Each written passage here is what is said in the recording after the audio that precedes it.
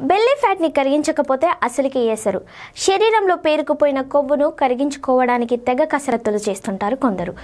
కొన్ని కొవ్వు నిల్వలు పట్టణ కరగవు. అలాంటి సమయంలో ఎలాంటివి చేయాలనే దానిపై నిపుణులు పలు సూచనలు ఇస్తున్నారు. తీరిక లేని జీవనశైలి వల్ల ఉబకాయం బారిన పడే వారి సంఖ్య పెరుగుతుంది.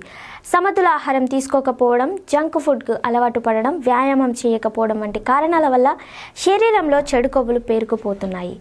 పొట్ట తొడల మధ్య ఏర్పడే కొవ్వు శరీరాకృతిని దెబ్బతీస్తుంది. ఆడ మగ అనే తేడా లేకుండా ఈ సమస్య బారిన పడుతున్న వారి సంఖ్య పెరుగుతుంది.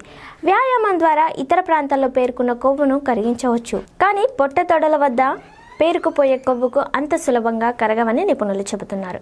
ఎన్ని రకాల కొవ్వులు ఉన్నాయి? శరీరంలో ఇతర ప్రాంతాల్లో ఏర్పడినట్టుగానే పొట్ట చుట్టూ తొడల వద్ద కొవ్వు ఏర్పడుతుంది. సాధారణంగా శరీర జీవక్రియలకు అవసరమైన దానికంటే ఎక్కువగా మొత్తంలో శక్తినిచ్చే పదార్థాలు తీసుకున్నప్పుడు అధిక శక్తి కొవ్వుల రూపంలో నిల్వ ఉంటుంది. పొట్ట చుట్టూ చేరే అధిక కొవ్వును బెల్లీ ఫ్యాట్ అంటారు.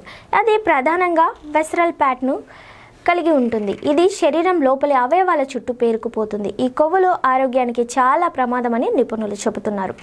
సాధారణంగా బెల్లీ ఫ్యాట్ సమస్య పురుషుల్లో ఎక్కువగా కనిపిస్తుంది. మహిళల్లో తొడల వద్ద కొవ్వులు ఎక్కువగా ఏర్పడతాయి.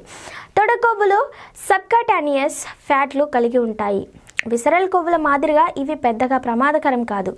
సబ్కాటానియస్ కొవ్వు చర్మం కిందనే ఉంటుంది. ఒక వ్యక్తి శరీరంలోని మొత్తం కొవ్వును అంచనా వేయడానికి ఇది ఉపయోగపడుతుంది. ఏవి ప్రమాదకరం? నడుము తొడల వద్ద పేరుకుపోయే కొవ్వు కంటే పొట్ట చుట్టూ ఏర్పడే కొవ్వులు ప్రమాదకరమని అధ్యయనాలు చెబుతున్నాయి. విసరల్ కొవ్వులను కలిగి ఉండే బెల్లీ ఫ్యాట్ ఇన్సులిన్లు ప్రభావితం చేస్తుంది. దీనివల్ల డయాబెటీస్ ప్రమాదం పెరుగుతుంది.